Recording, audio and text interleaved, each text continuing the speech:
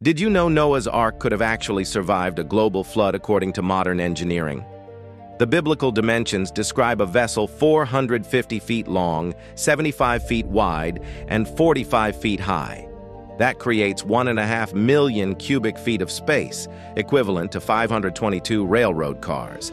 Enough room for over 125,000 sheep-sized animals. But here's what's incredible.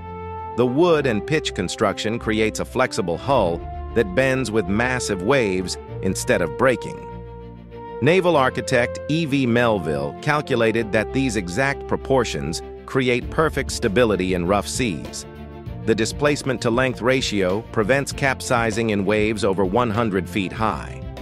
The 6 to 1 length-to-width ratio matches modern cargo ships designed for maximum stability. Even more amazing, the biblical instruction to make rooms describes watertight compartments that prevent sinking if breached. This design principle wasn't rediscovered until the Titanic disaster. Ancient wisdom contained engineering perfection that took us thousands of years to understand.